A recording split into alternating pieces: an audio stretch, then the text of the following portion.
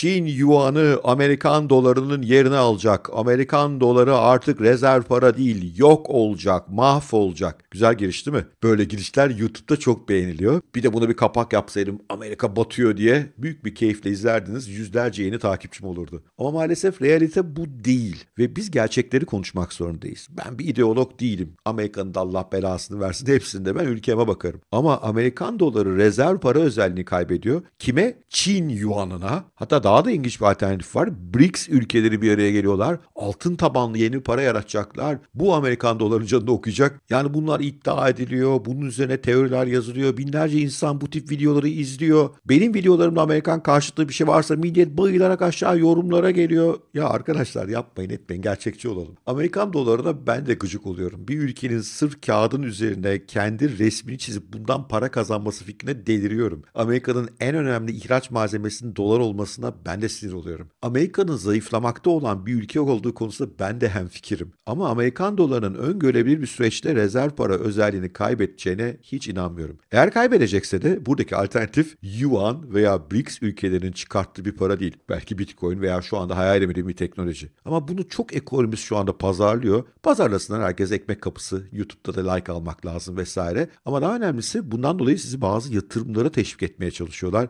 Gelin bunları bir konuşalım şimdi. Ve bir de benim perspektifimi dinleyin. Belki bazınız bana kızacak. Hayallerinizdeki kadar hızlı bir Amerika çöküşü olmadığını anlatacağım. Ama siz yine de beni dinleyin. Gerçekçi olmakta büyük fayda var. Hazırsanız başlıyoruz.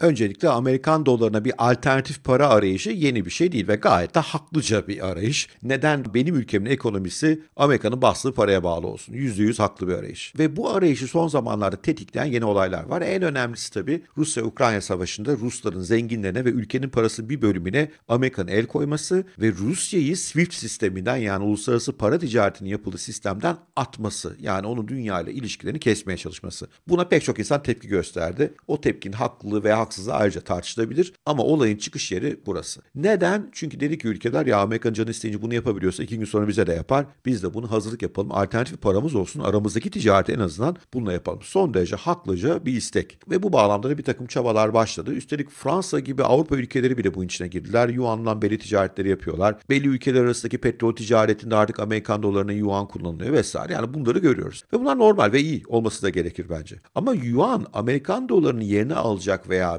BRICS Amerikan dolarını yeni alacak diyorsanız orada bir durmanız lazım. Orada bazı realiteleri bir göreceğiz. Gelin size birkaç tane enteresan rakam ve veri vereyim. Bir kere ilk rakip diye düşünülen Yuan'a bakmakta fayda var. Yuan Çin ekonomisinin parası ve Çin ekonomisi son derece kapalı bir ekonomi. Detaylı bilgiler alamadığımız, veriler alamadığımız bir ekonomi. Ve Çin Yuan'ı aslında temelde convertible yani dönüştürülebilir bir para değil. Çünkü Çin hükümeti değerine karar veriyor. Neye göre karar verdiğini de bilmiyoruz. Yani diyebilirsiniz ki hocam burada da FED var Allah'ın belası ama FED en azından neyi neden yaptığını çıkıp anlatmak zorunda kalıyor. Kendimize göre bir takım sebepler bulabiliyoruz. Burası tamamen kapalı bir sistem. Ve bundan dolayı zaten Çin'in dünya ekonomisindeki payıyla kıyaslamayacak kadar zayıf bir parası var. Dünyada para olarak işlem görme açısından. İki tane rakam vereyim mesela. Dünyadaki bütün para rezervlerinin sadece %2.75'i Çin yuanı. SWIFT transferlerinde yani uluslararası para transferlerinde Çin yuanı %3'e ulaşabilmiş pay olarak en yüksek. Şu sıralar %2.2'ye düşmüş durumda. Yani Çin yuanının şu anda dünyada bir geçerli yok. Öte yandan zaten Çinlilerin de Amerikan dolarını terk ettiği yok. Mesela Çin'deki pek çok altyapı projesini finanse eden The Asian Infrastructure Investment Bank Dünya Bankası ile beraber çalışıyor. Amerikan doları bazında çalışıyor. İngiltere, Almanya, Avustralya ve İsrail gibi Amerikan doları sistemi içinde çalışan ülkelerle işbirliğine tam gaz devam ediyor. Çin'in ünlü projesi Yol ve Kuşak 65'in üzerinde ülkeyi birbirine bağlayacak olan içinde aynı zamanda tren yolları vesaire de olan dev proje. Oradaki ana para ne biliyor musunuz? Dolar, Amerikan doları. Çünkü bu projeye katılan ülkeler Çin yuanını kabul etmediler. Dolarla bu iş yapmak istediler. Çünkü dolar dünyada konvertibilitesi en yüksek para hala. Bir başka enteresan yanılgı da petrodolar meselesi. Diyelim ki Suudi Arabistan hakikaten petrodolardan vazgeçti ve petro yuvana döndü. Petrodoların yıllık işlem hacmi 3,5 trilyon dolar. Yani yılda 3,5 trilyon dolarlık petrol alınıp satılıyor. Dünyadaki bütün küresel mal ticaretine baktığımızda ise 32 trilyon dolarlık bir işlem var. Diyelim ki bu da Çin'e geçti. Çünkü Çin çok büyük bir üretici ülke ya ve de bir gerçeklik payı da var. Çin dünyada en çok ülkeyle en büyük işlem hacmine sahip bir ülke. Ve dedik ki o ülkelerde tamamı dedi ki biz yuanla işlem yapmayı kabul ediyoruz. Bu Amerika büyük bir darbe olur muydu? Olurdu. Ama dahası var. Dünyadaki para transferlerinin çok büyük bölümü ürünler için yapılmıyor para ticaretinin kendisi yapılıyor. Yani ülkeler birbirlerine para alıp satıyorlar. Dünyadaki bütün ürün ve hizmetler için yapılan para transferlerinin büyüklüğü 35 trilyon dolarken günde yapılan parasal işlemlerin büyüklüğü 7,5 trilyon dolar. Ve burada Amerikan dolarının payı %88. 10 yıl önce de %90'dı. %2'lik kayıp var sadece. Peki Çin'in en büyük ihracat pazarı ne? Tahmin ettiniz Amerika Birleşik Devletleri. 582 milyar dolar ihracatı buraya yapıyor. İkinci en büyük ticaret merkezi Hong Kong. Biliyorsunuz aslında o da bir Çin uzantısı.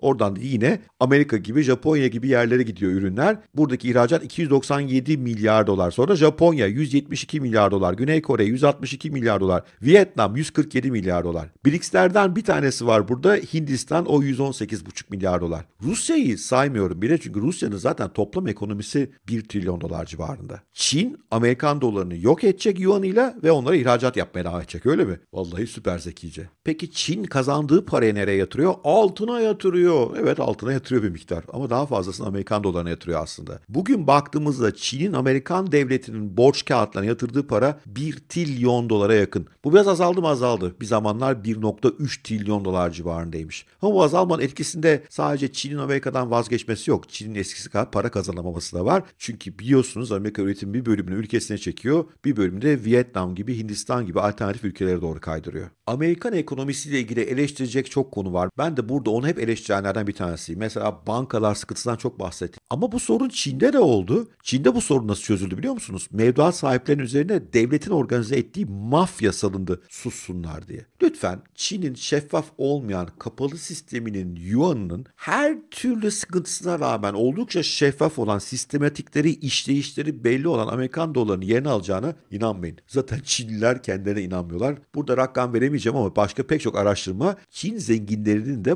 paralarını dolara çevirip yurt dışına çıkardığını bize gösteriyor. Toparlamam gerekirse evet Çin iyi oynuyor oyunu ve Çin şu anda Amerika Birleşik Devletleri'ne göre çok daha organize gözüküyor. Ama rakam farkları muazzam ve Çin'in sistemi dünyaya en güven veren sistem hala değil. Bu yüzden Yuan'ın Amerikan dolarının yerini alması rezerv para olarak en azından öngörülebilir gelecekte tamamen imkansız.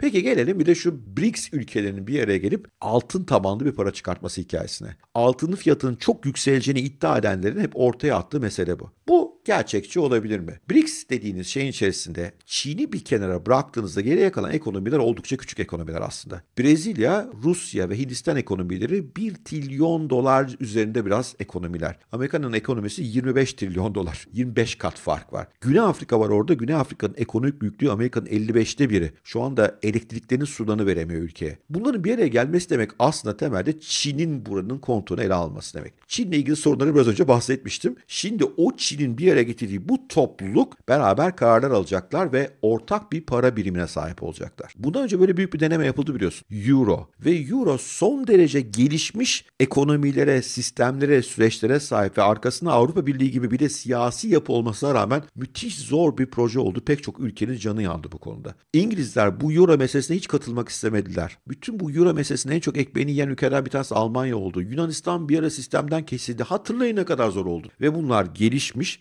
demokrasileri olan bir takım süreçleri olan ülkeler en azından. Şimdi 5 benzemez bir araya geliyorlar. 5'i de son derece ilginç diyelim yönetim yapılarına sahipler ve ortak bir para çıkaracaklar ve işbirliği yapacaklar. Üstelik bu ülkelerden iki tanesi birbirlerine tarihi düşman. Çin ve Hindistan. Ruslar ve Çinler de geçmişte az birbirlerini öldürmediler. Bunlar bir araya gelecekler. Ortak bir paraları olacak. O paranın altınlarını belli bir hazine saklayacaklar ve bu para Amerikan dolarından güçlü olacak. Ah ne diyeyim ki ben. Yani keşke olsa alternatifler her zaman iyidir ve bu alternatiflerin bir miktar pay alacağına inanıyorum. Ama Amerikan doları rezerv para özelliğini kaybedecek meselesini lütfen şimdilik en azından bir geçin. Şöyle bir 5-10 yıl 15 yıl geçin. Ne zaman ki Amerika Birleşik Devletleri'nden daha şeffaf, daha fazla derinliği olan, daha fazla finansal enstrümanı olan, bütün eleştirecek yönlerine rağmen daha fazla demokrasisi, hukuku olan bir sistem çıkar. O ülkenin parası yeni fiyat para olabilir. Altın tabanlı para meselesinin neden olamayacağını da ileride başka bir videoda anlatırım. Öte yandan Amerika Birleşik Devletleri zayıflamaya devam edecek mi? Evet devam edecek. Ve buradan ülkeler kendilerine bazı paylar kapacaklar mı? Kapacaklar ve bu bizler için çok da iyi bir şey olacak. Ama bu benim üzerinde kısa orta vadede yatırım stratejisi üreteceğim. Bunu anlatan ekonomistlerin gidip yatır dediği şey para yatıracağım bir alan değil. Kimse kusura bakmasın.